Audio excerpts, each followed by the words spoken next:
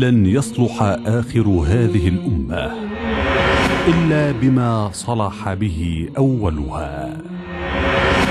موقع أنا السلفي يقدم لكم هذه المادة. السلام عليكم ورحمة الله وبركاته. الحمد لله والصلاة والسلام على رسول الله وعلى صحبه ومن والاه. وأشهد أن لا إله إلا الله وحده لا شريك له وأشهد أن محمدا عبده ورسوله.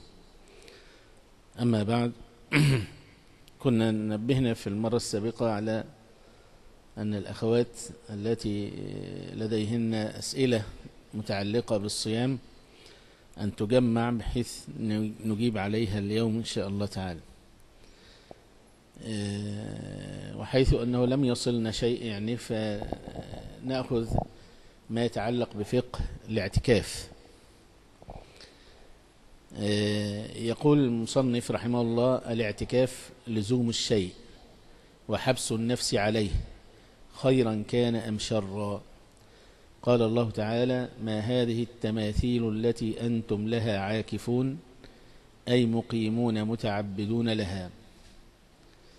والمقصود بالاعتكاف الشرعي لزوم المسجد والإقامة فيه بنية التقرب إلى الله عز وجل.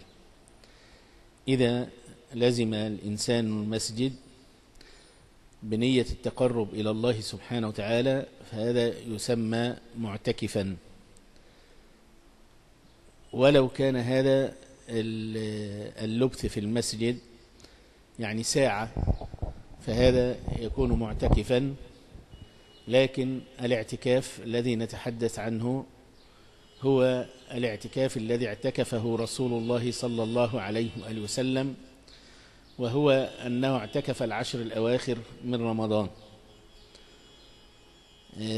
وذلك أنه كان يلتمس فيها ليلة القدر لأن النبي صلى الله عليه وآله وسلم كان إذا دخل العشر الأواخر من رمضان شد المئزر وأحيا الليل وأيقظ أهله. فكان يجتهد فيها في العبادة.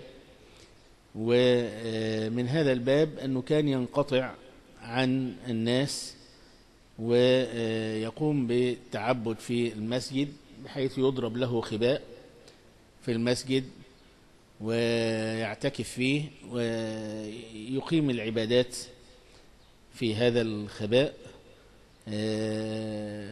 وهذه يعني هذه هي السنة في الاعتكاف.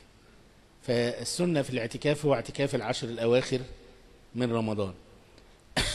أما ما دون ذلك الإنسان يعتكف في الليل يعتكف في النهار يعتكف ساعة وغير ذلك فهذا لبث في المسجد بنية التعبد لله سبحانه وتعالى فيه معنى الاعتكاف.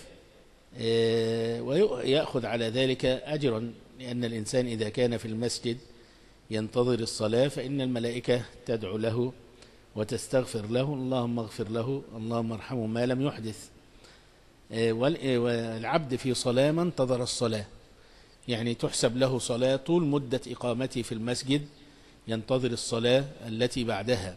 فإذا دخل في وقت صلاة ثم مكث في المسجد ينتظر الصلاة التي بعدها فهو في صلاة كما صح ذلك عن النبي صلى الله عليه وسلم. لكن ما نتحدث عنه هو اعتكاف العشر الأواخر من رمضان وقد أجمع العلماء على أنه مشروع.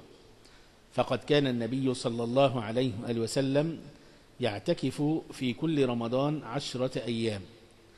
فلما كان العام الذي قبض فيه اعتكف عشرين يوما. وذلك أن النبي صلى الله عليه وسلم اعتكف العشر الأوسط من رمضان يلتمس ليلة القدر فأخبر أنها في العشر الأواخر فأكمل الاعتكاف فاعتكف عشرين يوما صلى الله عليه وآله وسلم. وقد اعتكف أصحابه وأزواجه معه وبعده. يعني النبي صلى الله عليه وسلم اعتكف معه أزواجه واعتكفوا بعده أيضا واعتكف الصحابة رضي الله عنه معه واعتكفوا بعده صلى الله عليه وآله وسلم. وهو وإن كان قربة إلا أنه لم يرد في فضله حديث صحيح. آه، قال أبو داود قلت لأحمد رحمه الله تعرف في فضل الاعتكاف شيئا؟ قال لا إلا شيئا ضعيفا. يعني لم يرد في آه، كم الثواب المترتب على عبادة الاعتكاف لم يرد فيه شيء. لكن ورود أن النبي صلى الله عليه وسلم كان يعتكف العشر الأواخر من رمضان هذا يدل على أن للعبادة فضلا. لكن نحن لا نعرف كم هذا الفضل وليس أنه ليس له فضل أن الاعتكاف ليس له فضل. الاعتكاف له فضل بمجرد أن النبي صلى الله عليه وسلم فعله. آه، ولكن كم الفضل هذا؟ عشر حسنات مئة ألف مئة ألف مليون حسنة لا نعرف. لكن آه، الذي ورد فيه أن النبي صلى الله عليه وسلم اعتكف العشر الأواخر من رمضان والله سبحانه وتعالى يقول قد كان لكم في رسول الله أسوة حسنة لمن كان يرجو الله واليوم الآخر. فنحن نقتدي به صلى الله عليه وآله وسلم. والاعتكاف ينقسم إلى مسنون وإلى واجب. فالمسنون ما تطوع به المسلم تقربا إلى الله وطلبا لثوابه واقتداء بالرسول صلوات الله وسلامه عليه. ويتأكد ذلك في العشر الأواخر من رمضان لما تقدم. والاعتكاف الواجب ما أوجبه المرء على نفسه إما بالنذر المعلق مثل أن يقول لله علي أن أعتكف كذا آه، أو إن شفى الله مريضي لأعتكفن كذا. وفي صحيح البخاري أن النبي صلى الله عليه وآله وسلم قال من نذر أن يطيع الله فليطعه. وفيه أن عمر رضي الله عنه قال يا رسول الله إني نذرت أن أعتكف ليلة في المسجد الحرام. قال أوفي بنذرك. فالاعتكاف ليس بواجب. الاعتكاف ليس بواجب إنما هو مستحب. وإنما هو واجب بما أوجبه الإنسان على نفسه. فالإنسان يوجب على نفسه هذا بالنذر. والنذر آه، لا يغير في قدر الله شيئا وإنما يستخرج به من البخيل. فالنذر نوع من البخل. أن يقول لئن شفى الله مريضي لأفعلن كذا. المفترض أن يتقدم الإنسان بالطاعة أولا ثم يسأل الله سبحانه وتعالى ما يحب وما يريد. لا أن يعلق الطاعة على لئن أعطينا أعطاني الله كذا لأفعلن كذا فإن هذا نوع من الشح والبخل. وهذا النذر لا يغير من القدر شيئا. لئن كان الله قضى عنده أن يبرأ ابنه سيبرأ. آه، ولكن يستخرج به من البخيل يعني يرتب الله سبحانه وتعالى ذلك حتى يخرج هذا البخيل هذه العبادة أو هذا النذر إذا كان ماليا أو كان بالذبح أو غير ذلك. آه، زمان الاعتكاف الاعتكاف الواجب يؤدى حسب ما نذره وسماه الناذر فإن نذر الاعتكاف يوما أو أكثر وجب الوفاء بما نذره. يعني إذا نوى أن يعتكف يوما أو أكثر فيوفي بنذره يوفي بنذره. وإذا نذر أن يعتكف في مسجد كذا فيجزئ أن يعتكف في أي مسجد يجزئ أن يعتكف في أي مسجد لأن المساجد كلها سواء. أما إذا نذر أن يعتكف في المسجد الحرام فينبغي أن يعتكف في المسجد الحرام. لأن هناك ثلاثة مساجد النبي صلى الله عليه وآله وسلم قال الصلاة في المسجد الحرام بمئة ألف صلاة والصلاة في المسجد الأقصى بخمسمائة صلاة وصلاة في مسجد هذا بألف صلاة. ثم المساجد بعد ذلك سواء فحيثما أدركتك الصلاة فصل فالمساجد كلها سواء ما عدا المسجد الحرام ثم المسجد النبوي والمسجد الأقصى. فإذا نذر أن يعتكف في المسجد الأقصى يجزئ أن يعتكف في المسجد الحرام أو في المسجد النبوي. وإذا نذر أن يعتكف في المسجد النبوي يجزئ أن يعتكف في المسجد الحرام. لكن إذا نذر أن يعتكف في المسجد الحرام لا يجزئ إلا أن يعتكف في المسجد الحرام. والاعتكاف المستحب ليس له وقت محدد فهو يتحقق بالمكث في المسجد مع نية الاعتكاف طال الوقت أم قصر ويثاب ما بقي في المسجد. فإذا خرج منه ثم عاد إليه جدد النية إن قصد الاعتكاف.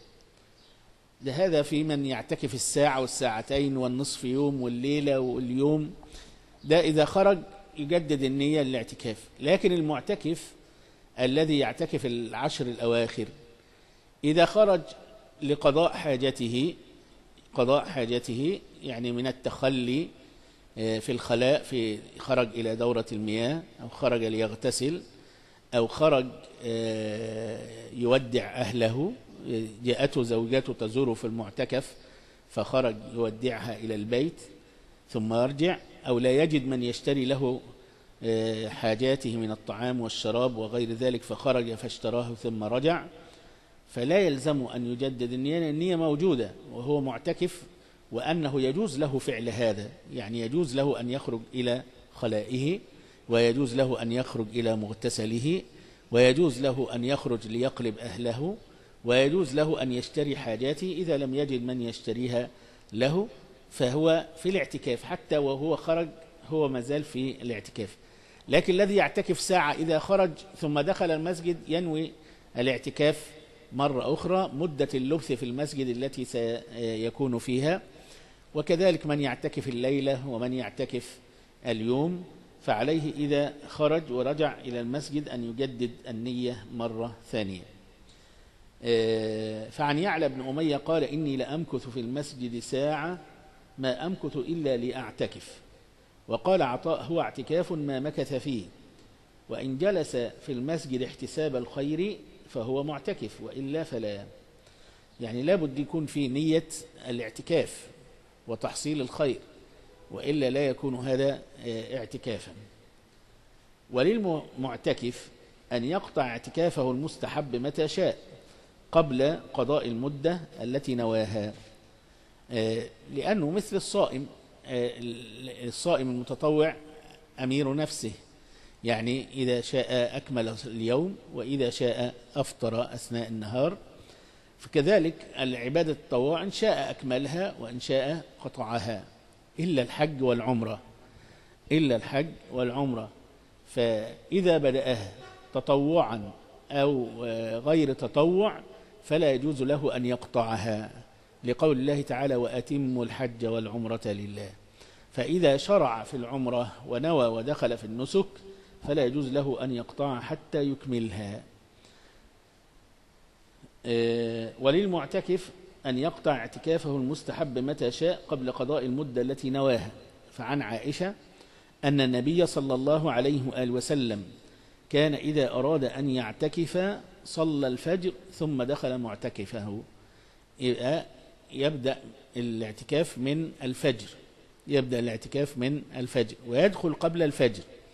يدخل قبل الفجر. لأن هذا الفجر هو بداية اليوم. الفجر هو بداية اليوم. فيدخل قبل الفجر ويخرج بعد الغروب. يخرج بعد الغروب. بعد غروب اليوم شمس اليوم الأخير من رمضان يخرج بعد غروب الشمس. يبقى يدخل ليلة الحادي والعشرين من شهر رمضان ليلة الحادي والعشرين من شهر رمضان يدخل بعد في في هذا اليوم قبل الفجر ويظل فيه إلى أن يخرج إلى أن يخرج منه بعد غروب شمس آخر يوم من رمضان. كان النبي صلى الله عليه وسلم إذا أراد أن يعتكف صلى الفجر ثم دخل معتكفه. وهذا الحديث محمول على أنه يدخل إلى خبائه بعد الفجر. لكن هو لابد أن يدخل قبل الغروب الشمس. يدخل قبل غروب الشمس ليلة الحادي والعشرين عشان يبدأ بالليلة. لأن الإسلام يحتسب الليلة قبل اليوم. الإسلام يحتسب الليلة قبل اليوم. يعني نحن نقول في هذه ليلة كذا يعني ليلة اليوم الذي بعده فلا بد أن يدخل قبل غروب الشمس يدخل قبل غروب شمس آه، لي آه، قبل غروب شمس يوم الإيه؟ يوم عشرين رمضان. يوم عشرين رمضان قبل غروب الشمس وتبقى دي ليلة واحد وعشرين تبقى دي ليلة الحادي والعشرين. لكن الحديث هنا إن هو يدخل معتكفه آه، بعد الفجر هذا آه، محمول على دخوله الخباء لأنه يأتي في الليلة يقيم الليل في المسجد طول الليل وبعدين يصلي بالناس الفجر وبعدين يدخل إلى آه، خبائه. هذا محمول على ذلك لكن هو آه، يدخل قبل غروب شمس يوم عشرين من رمضان. آه، كان إذا أراد أن يعتكف صلى الفجر ثم دخل معتكفه. وأنه أراد مرة أن يعتكف في العشر الأواخر من رمضان فأمر ببنائه فضرب يعني بالخباء. آه، قالت عائشة فلما رأيت ذلك أمرت ببنائي فضرب وأمر غيري من أزواج النبي صلى الله عليه وسلم ببنائه فضرب فلما صلى الفجر نظر إلى الأبنية فقال ما هذه؟ يعني الخباءات. قال بر تردن. قالت فأمر ببنائه فقوض وأمر أزواجه بأبنيتهن فقوضت ثم أخر الاعتكاف إلى العشر الأول يعني من شوال. وهذا فيه أن من عمل عملا من النوافل يستحب له أن يداوم عليها. فالنبي صلى الله عليه وسلم لما ترك الاعتكاف في العشر الأواخر من رمضان في هذه السنة قضاهن في العشر الأول من شوال. قضاهن في العشر الأول من شوال. فأمر رسول الله صلى الله عليه وسلم نساءه بتقويض أبنيتهن وترك الاعتكاف بعد نيته منهن دليل على قطعه بعد الشروع فيه. وفي الحديث أن للرجل أن يمنع زوجته من الاعتكاف بغير إذنه وإليه ذهب عامة العلماء واختلفوا فيما لو أذن لها هل له منعها بعد ذلك فعند الشافعي وأحمد وداود له منعها وإخراجها من اعتكاف التطوع. الرجل له أن يمنع زوجته من الاعتكاف وله كذلك إذا أذن لها بالاعتكاف أن يأمرها بقطع الاعتكاف. لأن هذه من السنن.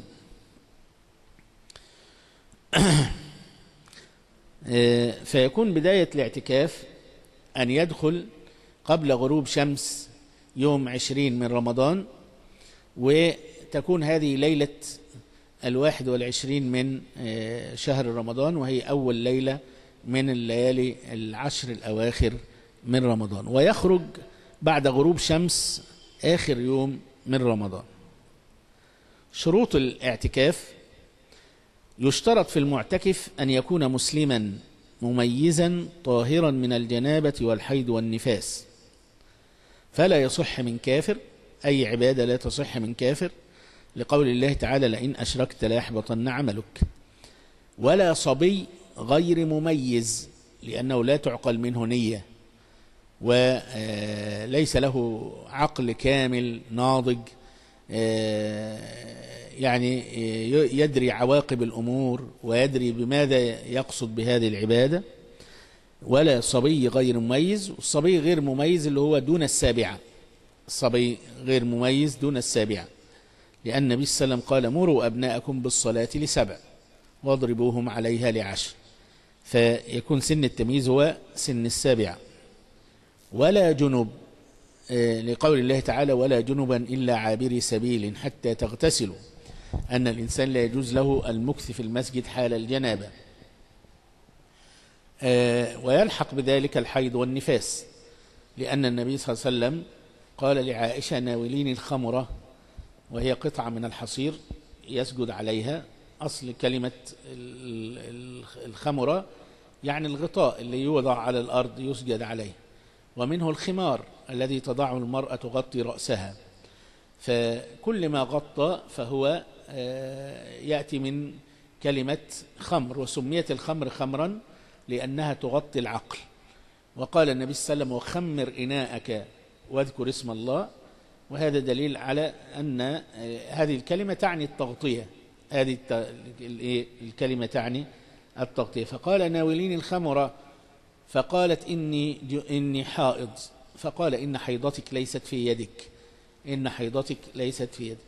فهي عائشة قالت إن أنها حائض يعني لا تدخل المسجد وهذا صحيح. وهذا آه، صحيح.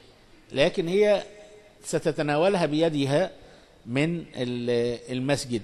فليس فيه مكث في المسجد وليس فيه تلوث للمسجد لأن لا يؤمن من الحائض والنفساء أن يكون هناك دم يسيل فيلوث المسجد وغير ذلك. لكن مجرد العبور في المسجد فهذا ذكره الله سبحانه وتعالى قال ولا جنبا إلا عابري سبيل حتى تغتسلوا. إذا الجنب والحائض والنفساء لا يجوز لهم اللبث في المسجد لا يجوز لهم اللبث في المسجد. آه، فلا بد أن يكون أيضا عاقل يعني هو قال لا يصح من كافر ولا صبي غير مميز. ولا يصح من المجنون أيضا لأن العقل مناط التكليف محل التكليف. فإذا ذهب العقل سقط التكليف. آه، كما قال النبي صلى الله عليه وآله وسلم رفع القلم عن ثلاث منها المجنون حتى يفيق. آه، والجنب والحائض والنفساء قلنا لا يجوز لهم اللبث في المسجد المكث في المسجد وعلى هذا فلا بد أن يكون طاهر من الحدث الأكبر. المعتكف لا بد أن يكون طاهر من الحدث الأكبر. أركانه أركان الاعتكاف. وطبعا الشرط والركن. إذا فقدت العبادة شرطا أو ركنا فإن العبادة لا تصح. لكن الفرق بين الشرط والركن أن الشرط لا يصح العمل إلا به وليس جزءا من العمل. وليس جزءا من العمل. والركن لا يصح العمل إلا به ولكنه جزء من العمل. مثلا نقول ال ال الوضوء شرط لصحة الصلاة. فلا تصح الصلاة إلا بوضوء لكن الوضوء ليس جزء من الصلاة. ليس جزء من الصلاة. ونقول الركوع ركن من أركان الصلاة. فلا تصح الصلاة إلا بالركوع. لا والركوع جزء من الإيه؟ جزء من الصلاة. هذا هو الفرق بين الشرط وبين الركن. لكن كلاهما المؤدى واحد وهو أنه إذا فات شرط فات شرط أو ركن في العبادة فإنها لا تصح. أركانه يعني أركان الاعتكاف آه، حقيقة الاعتكاف المكث في المسجد بنية التقرب إلى الله. فلو لم يقع المكث في المسجد أو لم تحدث نية الطاعة لا ينعقد الاعتكاف. يبقى هو ليه ركنين. الركن الأول نية الاعتكاف نفسها وهي نية اللبث في المسجد بقصد طاعة الله سبحانه وتعالى. مش إن هو مكث في المسجد ينتظر واحد أو مصلحة أو, أو شيء من هذا. لا ده نكث لبث في المسجد بنية التعبد والتقرب إلى الله سبحانه وتعالى. آه الأمر الثاني المكث المكث في المسجد. يعني يبقى في نية المكث بقصد التعبد والمكث نفسه في المسجد. آه فلو لم يقع المكث في المسجد أو لم تحدث نية الطاعة لا ينعقد الاعتكاف. أما وجوب النية فالنية شرط في جميع العبادات. لقول الله تعالى لقول النبي صلى الله عليه وسلم إنما الأعمال بالنيات وإنما لكل امرئ ما نوى. آه، والنية نيتين يعني النية نيتين. النية الأولى هي الإخلاص وما أمروا إلا ليعبدوا الله مخلصين له الدين حنفاء. والنية الثانية النية المميزة للعمل التي تفرق بين العادة والعبادة وتفرق بين الفرد والنافلة. وأما آه أن المسجد لا بد منه أي لا بد أن يكون الاعتكاف في المسجد يعني ما ينفعش واحد يعتكف في بيته لابد أن يكون الاعتكاف في المسجد. فلقول الله تعالى ولا تباشرهن وأنتم عاكفون في المساجد. وأنتم عاكفون في المساجد. ووجه الاستدلال أنه لو صح الاعتكاف في غير المسجد لم يخص تحريم المباشرة بالاعتكاف في المسجد. لأنها منافية للاعتكاف. فعلم أن المعنى بيان أن الاعتكاف إنما يكون في المساجد.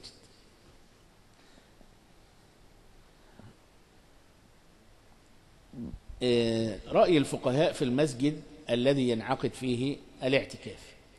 اختلف الفقهاء في المسجد الذي يصح الاعتكاف فيه فذهب أبو حنيفة وأحمد وإسحاق وأبو ثور إلى أنه يصح في كل مسجد يصلى فيه الصلوات الخمس وتقام فيه الجماعة. لما روي أن النبي صلى الله عليه وآله وسلم قال كل مسجد له مؤذن وإمام فالاعتكاف فيه يصلح. رواه الدار قطني وهذا حديث ضعيف. وذهب مالك والشافعي وداود إلى أنه يصح في كل مسجد لأنه لم يصح في تخصيص بعض المساجد شيء صريح.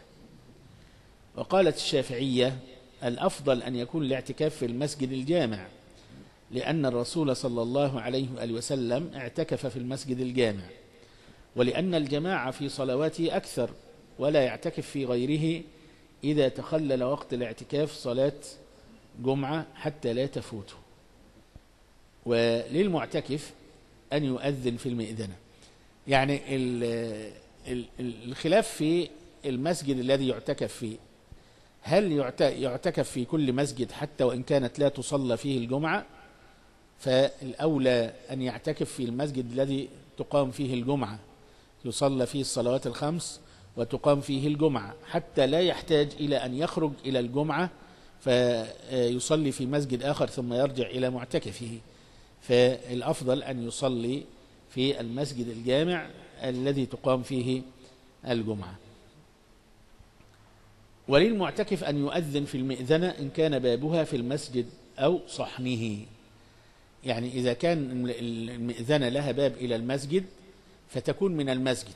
أما إذا كان بابها خارج المسجد يعني من خارج المسجد فلا يخرج للأذان فيها.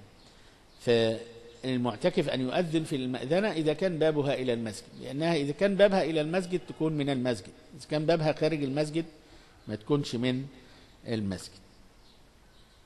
فللمعتكف أن يباح له أن يؤذن في المئذنة إن كان بابها في المسجد أو صحنه ويصعد على ظهر المسجد لأن كل ذلك من المسجد كل ذلك من المسجد. فإن كان باب المئذنة خارج المسجد بطل اعتكافه إن تعمد ذلك. ورحبة المسجد منه عند الحنفية والشافعية ورواية عن أحمد وعن مالك ورواية عن أحمد أنها ليست منه. فليس للمعتكف أن يخرج إليها. يعني رحبة المسجد المكان الفسيح اللي حول المسجد. هو من المسجد أو ليس من المسجد؟ إن كان في سور خارجي محيط بها فتكون من المسجد لأنها تضم إلى المسجد ويصلى فيها إذا ازدحم الناس. أما إذا لم يكن لها سور يحيط بها في الخارج فهي ليست من المسجد. فهي ليست من المسجد. وجمهور العلماء على أن المرأة لا يصح لها أن تعتكف في مسجد بيتها لأن مسجد البيت لا يطلق عليه اسم مسجد ولا خلاف في جواز بيعه. وقد صح أن أزواج النبي صلى الله عليه وسلم اعتكفنا في المسجد النبوي. يعني إذا كانت المرأة جعل مكان في في البيت عاملاه مسجد بتصلي فيه يعني مصلى لها تصلي فيه الصلاة فما ينفعش لا يصح أن تعتكف فيه لأن الاعتكاف يكون في المساجد. ولأنه يجوز بيعه والمسجد لا يجوز بيعه. ولأنه يجوز أن تمكث فيه الحائط والنفساء والمسجد ليس كذلك. صوم المعتكف يعني هل يشترط للمعتكف أن يكون صائما؟ أو هو هناك ربط بين الصيام والاعتكاف؟ المعتكف إن صام فحسن. يعني ده في غير العشر الأواخر طبعا. إذا كان بيعتكف في غير رمضان إن صام فحسن. وإن لم يصم فلا شيء عليه. روى البخاري عن ابن عمر رضي الله عنهما أن عمر قال يا رسول الله إني نذرت في الجاهلية أن أعتكف ليلة في المسجد الحرام. فقال أوف بنذرك.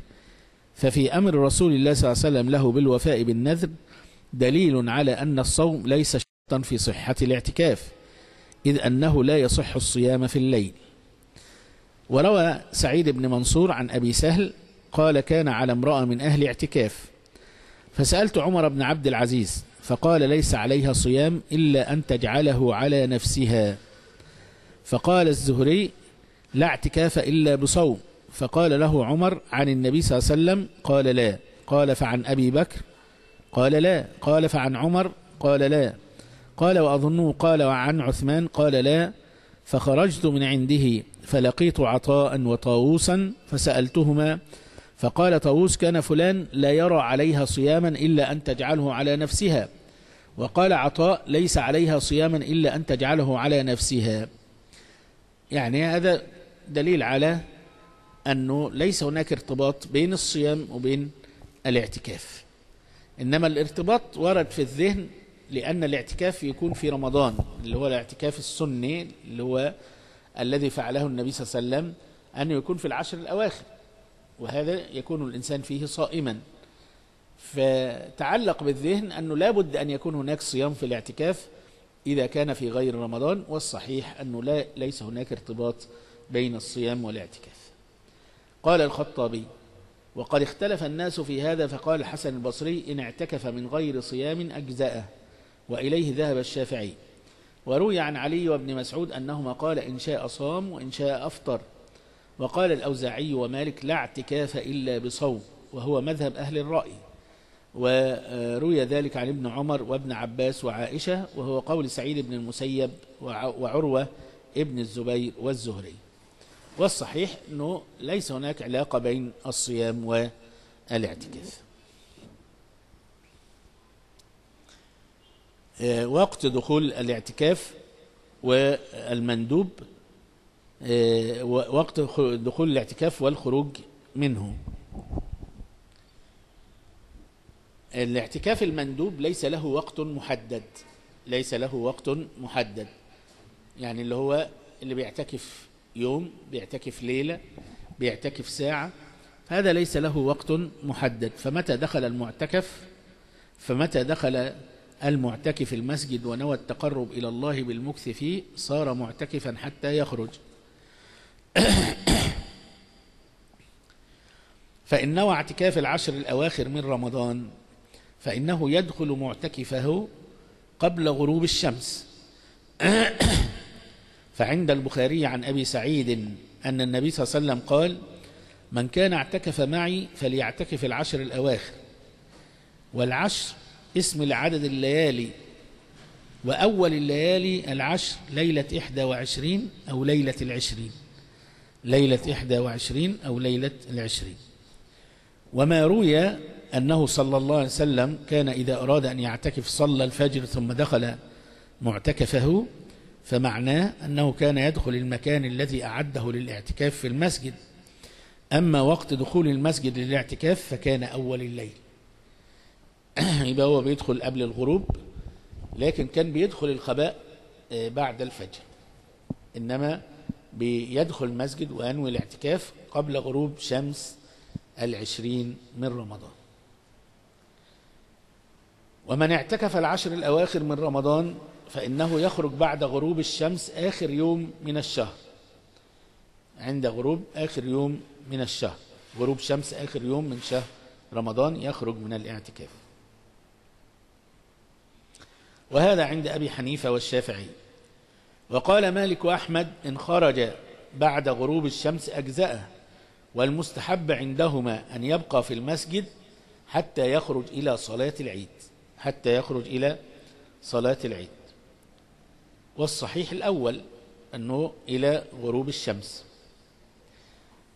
وروى الأثرم بإسناده عن أبي أيوب عن أبي قلابة أنه كان يبيت في المسجد ليلة الفطر. ثم يغدو كما هو إلى العيد. وكان يعني في اعتكافه لا يلقى له حصير ولا مصلى يجلس عليه. كان يجلس كأنه بعض القوم. قال فأتيته في يوم الفطر فإذا هو في حجره جويرية مزينة ما ظننتها إلا بعض بناته فإذا هي أمة له فأعتقها وغدا كما هو إلى العيد. وقال إبراهيم كانوا يحبون لمن اعتكف العشر الأواخر من رمضان أن يبيت ليلة الفطر في المسجد ثم يغدو إلى المصلى من المسجد. ومن نذر اعتكاف يوم أو أيام مسماه وأراد ذلك تطوعا فإنه يدخل في اعتكافه قبل أن يتبين له طلوع الفجر ويخرج إذا غاب جميع قرص الشمس. ده إذا نوى أنه يعتكف يوم. في يوم وفي ليلة وفي يوم وليلة. إذا أراد أن يعتكف يوم يبقى يدخل قبل الفجر ويخرج بعد الغروب. إذا أراد أن يعتكف ليلة يبقى يدخل قبل الغروب ويخرج بعد الفجر. إذا أراد أن يعتكف يوم وليلة فيخرج يدخل قبل الغروب ويخرج قبل الغروب ويخرج بعد الغروب.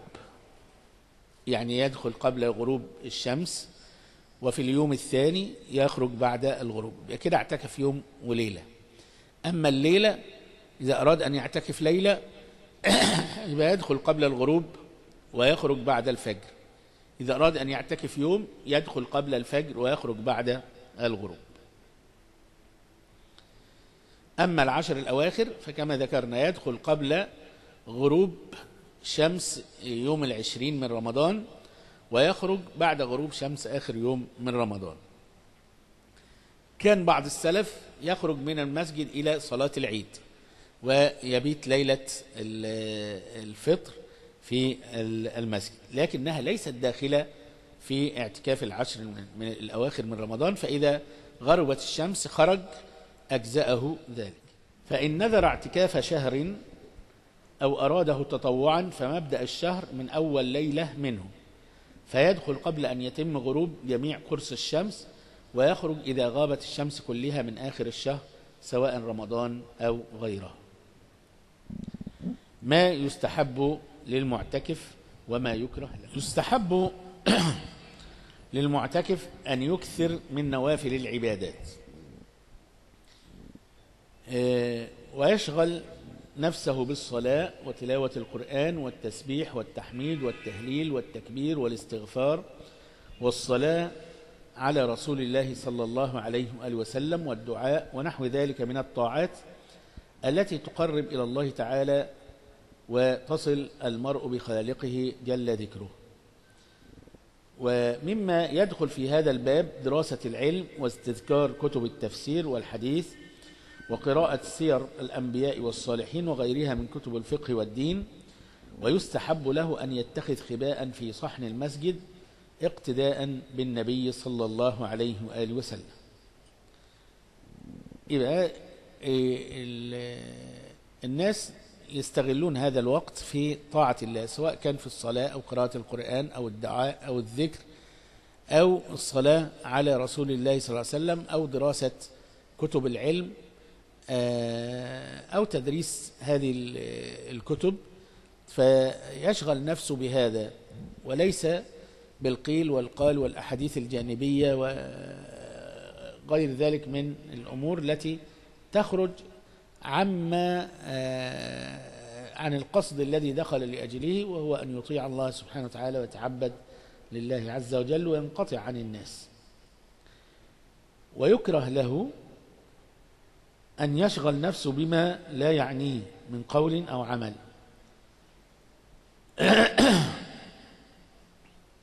لما رواه الترمذي وابن ماجه عن أبي بصرة أن النبي صلى الله عليه وسلم قال من حسن إسلام المرء تركه ما لا يعنيه. ويكره له الإمساك عن الكلام ظنا منه أن ذلك مما يقرب إلى الله عز وجل. أن يقعد ما يتكلمش خالص. فقد روى البخاري وأبو داود وابن ماجه عن ابن عباس قال بين النبي صلى الله عليه وآله وسلم يخطب إذا هو برجل قائم فسأل عنه فقال أبو إسرائيل نذر أن يقوم ولا يقعد ولا يستظل ولا يتكلم ويصوم. فقال النبي صلى الله عليه وسلم مره فليتكلم وليستظل وليقعد وليتم صومه. وروى أبو داود عن علي رضي الله عنه أن النبي صلى الله عليه وسلم قال لا يتم بعد احتلام ولا صمات يوم إلى الليل. لا يتم بعد احتلام يعني لا يسمى الإنسان يتيما بعد أن يبلغ الحلم. ولا صمات يعني سكوت يوم كامل ينبغي العبد أن يتكلم أن يسبح أن يحمد الله سبحانه وتعالى أن يدعو إلى الله عز وجل أن يقرأ القرآن. يعني أن يتكلم مع الناس فيما يباح من الكلام. ما يباح للمعتكف؟ يباح للمعتكف خروجه من معتكفه لتوديع أهله. آه، يعني إذا جاءت زوجته تزوره في المعتكف يجوز أن يمشي معها إلى البيت يوصلها إلى البيت. قالت صفية كان رسول الله صلى الله عليه وسلم معتكفا فأتيت أزوره ليلا فحدثته ثم قمت فانقلبت فقام معي ليقلبني يعني يوصلها إلى البيت وكان مسكنها في دار أسامة بن زيد فمر رجلان من الأنصار فلما رأي النبي صلى الله عليه وسلم أسرعا فقال النبي صلى الله عليه وسلم على رسلكما إنها صفية بنت حيي. قال سبحان الله يا رسول الله. قال إن الشيطان يجري من الإنسان مجرى الدم فخشيت أن يقذف في قلوبكما شيئا أو قال شرا. رواه البخاري ومسلم. يعني لما جاءته صفية رضي الله عنها تزوره خرج النبي صلى الله عليه وسلم معها ليقلبها يوصلها إلى البيت. فلما رأى الرجلان النبي صلى الله عليه وسلم ومعهم رأى أسرعا. فالنبي صلى الله عليه وسلم قال على رسلكما إنها صفية. إنها آه، صفية. قال سبحان الله يا رسول الله. يعني نحن لا يمكن أن يذهب ذهننا إلى شيء آخر. آه، فقال إن الشيطان يجري من ابن آدم مجرى الدم. وهذا فيه أن الإنسان ينبغي أن يبعد الشبهة والتهمة عن نفسه وأن يوضح أمره آه، للناس ولا يترك الناس يعني تلتبس عليها أموره بحيث يتهمونه في دينه. والأمر الثاني خشية الإمام على الرعية من أن يلحقهم العذاب فيرشدهم إلى ما فيه الصلاح ويفعل لهم ما فيه صلاحهم. فالنبي صلى الله عليه وسلم قال إن الشيطان يجري من ابن آدم مجرى الدم فخشيت أن يقذف في قلوبكما شيئا أو قال شرا. وهذا فيه حرص الإمام على الرعية وعمل الإمام لمصلحة الرعية.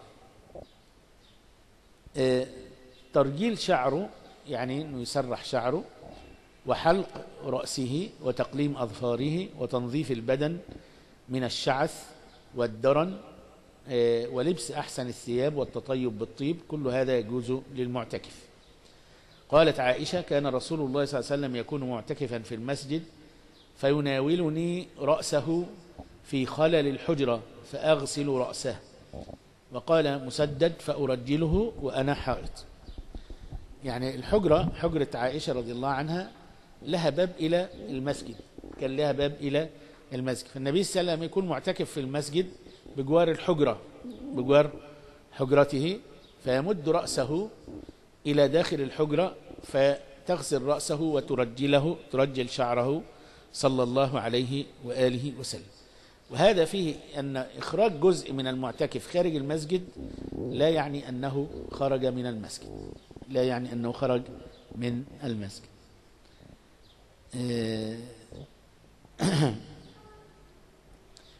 الخروج للحاجة التي لا بد منها. أي يجوز للمعتكف أن يخرج للحاجة التي لا بد منها. كان رسول الله صلى الله عليه وسلم إذا اعتكف يدني إلي رأسه فأرجله وكان لا يدخل البيت إلا لحاجة الإنسان إلا لحاجة الإنسان. رواه البخاري ومسلم وغيرهما. وقال ابن المنذر أجمع العلماء على أن للمعتكف أن يخرج من معتكفه للغائط والبول لأن المساجد لا تصلح لشيء من هذا. النبي صلى الله عليه وسلم لما بال الأعرابي في المسجد قام إليه فقال إن هذه البيوت لا تصلح لشيء من هذا البول والقدر وإنما بنيت لذكر الله وللصلاة ولقراءة القرآن. ويبقى بالإجماع أن دورة المياه ليست من المسجد. أن دورة المياه بالإجماع ليست من المسجد. فالإنسان يخرج لحاجته من الغائط والبول لأن هذا مما لا بد منه ولا يمكن فعله في المسجد. وفي معناه الحاجة إلى المأكول والمشروب يحتاج إلى طعام وشراب ولا يجد أحد يأتيه بطعامه وشرابه يخرج هو يأتي بالطعام والشراب. إذا لم يكن له من يأتيه به فله الخروج إليه. وإن بغته القيء فله أن يخرج ليقيء خارج المسجد. إن ذرعه القيء له أن يخرج ليقيء خارج المسجد. وكل ما لا بد منه ولا يمكن فعله في المسجد فله خروج إليه ولا يفسد اعتكافه ما لم يطل. ومثل هذا الخروج للغسل من الجنابة وتطهير البدن والثوب من النجاسة. هذا كله يجوز له أن يخرج من المسجد لأجله. وروى سعيد بن منصور قال قال علي بن أبي طالب إذا اعتكف الرجل فليشهد الجمعة وليحضر الجنازة. وليعد المريض وليأتي أهله يأمرهم بحاجته وهو قائم. وأعان رضي الله عنه ابن أخته بسبعمائة درهم من عطائه أن يشتري بها قادما فقال إن كنت معتكفا إني كنت معتكفا. فقال له علي وما عليك لو خرجت إلى السوق فابتعت. وعن قتادة أنه كان يرخص للمعتكف أن يتبع الجنازة ويعود المريض ولا يجلس. وقال إبراهيم النقعي كانوا يستحبون للمعتكف أن يشترط هذه الخصال وهن له وإن لم يشترط. عيادة المريض ولا يدخل سقفا ويأتي الجمعة ويشهد الجنازة ويخرج إلى الحاجة. قال ولا يدخل المعتكف سقيفة إلا لحاجة يعني لا يدخل بيت مسؤوف إلا لحاجة. قال الخطبي وقال الطائفة للمعتكف أن يشهد الجمعة ويعود المريض ويشهد الجنازة. وروي ذلك عن علي رضي الله عنه وقول سعيد بن جبير والحسن البصري والنخعي. وروى أبو داود عن عائشة أن النبي صلى الله عليه وسلم كان يمر بالمريض وهو معتكف فيمر كما هو ولا يعرج يسأل عنه. وما روي عنها أن من السنة على المعتكف ألا يعود مريضا فمعناه ألا يخرج من معتكفيه قاصدا عيادته وأنه لا يضيق عليه أن يمر به فيسأل غير معرج عليه. يعني ال ال إحنا قلنا إنه يخرج لحاجته المعتكف من قضاء الحاجة أو من الإتيان بطعامه وشرابه إذا لم يكن أحد يعني يأتي به أن يقلب أهله إذا جاءوا لزيارته. وهذه هي الأشياء التي يفعلها. أما بقية الأشياء من عيادة المريض واتباع الجنازة فإنهم اشترطوا أن يكون في المسجد الجامع حتى لا يخرج لصلاة الجمعة. فإذا هذه الأشياء ليست عليه هذه الأشياء ليست عليه. لكن إذا كان في الطريق إذا كان في الطريق يقلب أهله أو يشتري حاجته التي لا بد له منها من الطعام والشراب ومر ببيت مريض أنه يسأل عنه دون أن يدخل ودون أن يمكث عنده. وإنما يسأل عنه من على الباب وهو ليس قاصدا لعيادة المريض وإنما كان قاصد لشيء مباح وهو شراء الطعام أو توصيل أهله إلى البيت فإذا مر ببيت, ببيت مريض جاز له أن يسأل عنه. وأما ما سوى ذلك من الأشياء فإن هذا يؤدي إلى توسع يخرج عن مقصود الاعتكاف. الأمر الرابع له أن يأكل ويشرب في المسجد وينام فيه. مع المحافظة على نظافة المسجد لأن تطيب المسجد وتطهيره طاعة وعبادة لله سبحانه وتعالى. وعهدنا إلى إبراهيم وإسماعيل أن طهر بيتي للطائفين والعاكفين والركع السجود. والنبي صلى الله عليه وسلم يعني لما ماتت المرأة التي كانت تقوم المسجد أمر الصحابة فاصطفوا خلفه وقام على قبرها فكبر عليها أربعا وهذا فيه يعني العناية بتطهير المسجد وتطييبه وجعله على أحسن هيئة وجعله على أحسن هيئة. فإذا كنا بناكل ونشرب في المسجد وننام فلابد من العناية بالمسجد. ألا تكون فيه روائح الكريهة؟ لأن النبي صلى الله عليه وسلم منع من يأكل ثوما أو بصلا من أن يأتي إلى المسجد. من أكل ثوما أو بصلا أو كراثا فلا يأتي مسجدنا وليصلي في بيته. وذلك منعا للروائح الكريهة. كيف نحن نولد الروائح الكريهة من فضلات الطعام ومن أماكن النوم والنفس وغير ذلك؟ لابد من تهوية المسجد لابد من تعطير المسجد وتطييبه وتنظيف المسجد وجعله على هيئة. بعض يبقى حاجياته مرمية في المسجد الخباءات شكلها يعني غير جيد أماكن النوم يعني غير جيدة. الطعام بقايا الطعام موجودة في الآنية في كل المسجد فهذا يعني أشياء منفرة.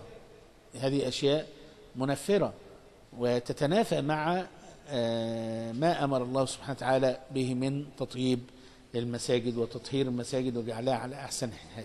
فلا بد كنا نأكل ونشرب وننام في المسجد لكن المحافظة على نظافة المسجد وصيانته وله أن يعقد فيه آه، العقود كعقد النكاح. آه، ما يبطل الاعتكاف؟ يبطل الاعتكاف يبطل الاعتكاف بفعل شيء مما يأتي. الأول الخروج من المسجد لغير حاجة عمدا وإن قل فإنه يفوت المكث فيه وهو ركن من أركانه. المكث في المسجد ركن من أركان الاعتكاف. فإذا خرج لغير حاجة عمدا بطل الاعتكاف. الردة يعني الكفر لمنافاتها للعبادة ولقول الله تعالى لئن أشركت ليحبطن عملك. ذهاب العقل بجنون أو سكر الحيض والنفاس لفوات شرط الطهارة آه، من الحيض والنفاس. يبقى ذهاب العقل بجنون أو سكر والحيض والنفاس هذا أيضا يبطل الاعتكاف. الوطء لقول تعالى ولا تقربوهن وأنتم عاكفون في المساجد. تلك حدود الله فلا تقربوها.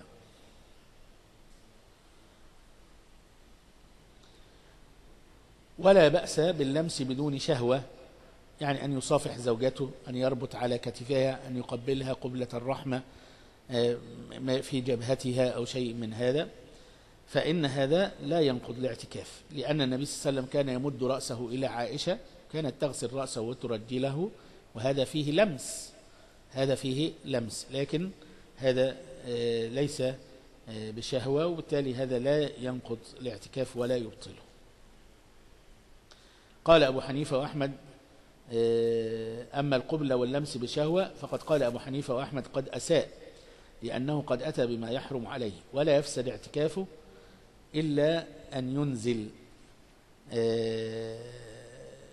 وقال مالك يفسد اعتكافه لأنها مباشرة محرمة آه، فتفسد كما لو أنزل. وعن الشافعي روايتين آه، كالمذهبين قال ابن رشد وسبب اختلافهم هل الاسم المشترك بين الحقيقة والمجاز له عموم أم لا؟ وهو أحد أنواع الاسم المشترك. آه، المشترك هنا ولا تباشرهن هذا لفظ مشترك. يعني هو المقصود به الجماع والمباشرة اللمس أيضا. مباشرة اللمس أيضا. فهو لفظ مشترك. ولا تباشرهن وأنتم عاكفون في المساجد. يطلق على الجماع وعلى ما دونه. ومن لم يرى له عموما يعني لللفظ المشترك وهو الأشهر الأكثر قال يدل إما على الجماع وإما على ما دون الجماع. فإذا قلنا أنه يدل على الجماع بإجماع بإجماع العلماء بطل أن يدل على غير الجماع لأن الاسم الواحد لا يدل على الحقيقة والمجاز معا. ومن أجرى الإنزال بمنزلة الوقاع فلأنه في معناه ومن خالف فلأنه لا يطلق عليه الاسم حقيقة. يعني فيكون هذا الجماع فقط هو الذي يبطل الاعتكاف أو اللمس بشهوة إلى الإنزال. قضاء الاعتكاف. من شرع في الاعتكاف متطوعا ثم قطعه استحب له قضاء وقيل يجب. قال الترمذي واختلف أهل العلم في المعتكف إذا قطع اعتكافه قبل أن يتمه على ما نوى. فقال مالك إذا انقضى اعتكافه وجب عليه القضاء. واحتجوا بالحديث أن النبي صلى الله عليه وسلم خرج من اعتكافه فاعتكف عشرا من شوال. وقال الشافعي إن لم يكن عليه نذر اعتكاف أو شيء أوجبه على نفسه وكان متطوعا فخرج فليس عليه قضاء إلا أن يحب ذلك آه، اختيارا منه. قال الشافعي وكل عمل لك ألا تدخل فيه فإذا دخلت فيه وخرجت منه فليس عليك أن تقضي إلا الحج والعمرة. هذا هو الصحيح. إذا الإنسان دخل الاعتكاف وخرج منه فليس عليه أن يقضيه مش واجب لكن يستحب له لأن النبي صلى الله عليه وسلم لما فاتته العشر الأواخر من رمضان في الاعتكاف قضاها في العشر الأول من شوال. هذا يستحب لكن ليس بواجب إلا أن يكون نذرا. فإذا كان نذر فإنه يجب عليه القضاء. آه، وكل عمل من النوافل آه، آه، دخلت فيه بإرادتك تستطيع أن تخرج منه إلا الحج والعمرة. إذا دخلت فيه لا تستطيع أن تخرج منه حتى تتمه. أما من نذر أن يعتكف يوما أو أياما ثم شرع فيه وأفسده وجب عليه قضاؤه متى قدر عليه باتفاق الأئمة. فإن مات قبل أن يقضي لا يقضى عنه. وعن أحمد أنه يجب على وليه أن يقضي عنه ذلك. روى عبد الرزاق عن عبد الكريم بن أمية قال سمعت عبد الله بن عبد الله بن عتبة يقول إن أمنا ماتت وعليها اعتكاف فسألت ابن عباس فقال اعتكف عنها وصم. وروى سعيد بن منصور أن عائشة اعتكفت عن أخيها بعدما مات. المعتكف يلزم مكانا من المسجد وينصب فيه الخيمة. روى ابن ماجه عن ابن عمر رضي الله عنهما أن رسول الله صلى الله عليه وسلم كان يعتكف العشر الأواخر من رمضان. قال نافع وقد أراني عبد الله بن عمر المكان الذي كان يعتكف فيه رسول الله صلى الله عليه وآله وسلم. وروي عنه أنه صلى الله عليه وآله وسلم كان إذا اعتكف طرح له فراش أو يوضع له سرير وراء اسطوانة التوبة اسطوانة هي عمود أحد أعمدة المسجد. وهي الاسطوانة التي ربط فيها رجل من الصحابة ربط فيها رجل من الصحابة نفسه حتى تاب الله سبحانه وتعالى عليه. فيعني يستحب أن يكون له خباء وأن يأتي بفراش ينام عليه. وروي عن أبي سعيد الخدري أن النبي صلى الله عليه وسلم اعتكف في قبة تركية على سدتها قطعة حصير. يعني على فتحتها قطعة حصير يعني لها باب. يعني عمل قبة يعني خيمة وجعل على سدتها قطعة حصير يعني باب من حصير.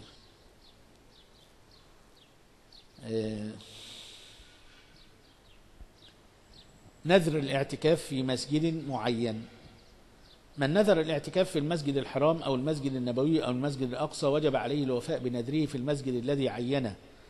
لقوله لقول رسول الله صلى الله عليه وسلم لا تشد الرحال إلا إلى ثلاثة مساجد المسجد الحرام والمسجد الأقصى ومسجدي هذا. أما إذا نذر الاعتكاف في غير هذه المساجد الثلاثة فلا يجب عليه الاعتكاف في المسجد الذي عينه وعليه أن يعتكف في أي مسجد شاء. لأن الله تعالى لم يجعل لعبادته مكانا معينا ولأنه لا فضل لمسجد من المساجد على مسجد آخر إلا المساجد الثلاثة. فقد ثبت أن رسول الله صلى الله عليه وسلم قال صلاة في مسجد هذا أفضل من ألف صلاة فيما سواه من المساجد إلا المسجد الحرام. وصلاة في المسجد الحرام أفضل من صلاة في مسجد هذا بمئة صلاة يعني فيكون بمئة ألف. وإذا نذر الاعتكاف في المسجد النبوي جاز له أن يعتكف في المسجد الحرام لأنه أفضل منه. هذا آخر يعني كتاب الاعتكاف. يكون انتهينا من الكلام على الصيام والاعتكاف. نسأل الله سبحانه وتعالى أن يبلغنا وإياكم رمضان وأن يوفقنا لطاعته وأن يتقبلها منا وأقول قولي هذا وأستغفر الله لي ولكم. قل هذه سبيلي أدعو إلى الله. على بصيرة أنا ومن اتبعني وسبحان الله وما أنا من المشركين.